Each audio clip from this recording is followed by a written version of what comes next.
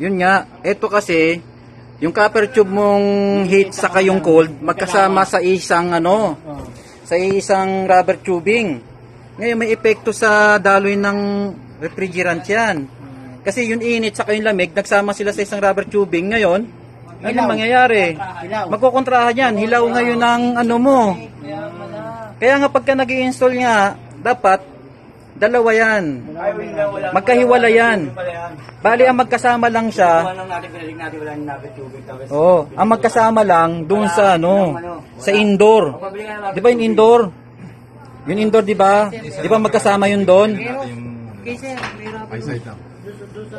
'Di ba doon sa may indoor, magkasama yung dalawang tubo na yon.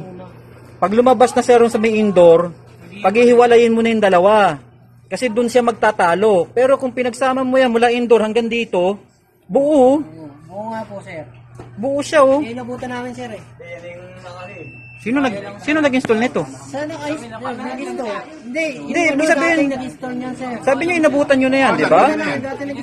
Oh, yun. Kaya lagiging hilaw palagi ang aircon niya. Ibig sabihin niyan, yung aircon niya, hilaw na, hindi pa dumidiretso. Kaya lagiging problema niyo, pabalik-balik ang technician mo kasi alam niya, oh. Alam niya yung problema. alam niya yung problema. Nape, napeperahan ka pero hindi siya sinasabing problema. Ayun ang problema, oh.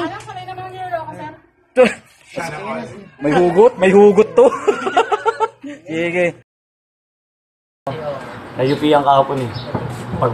Mamatay na yan sir.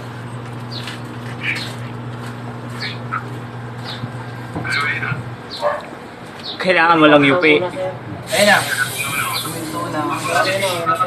Matay na yung compressor oh.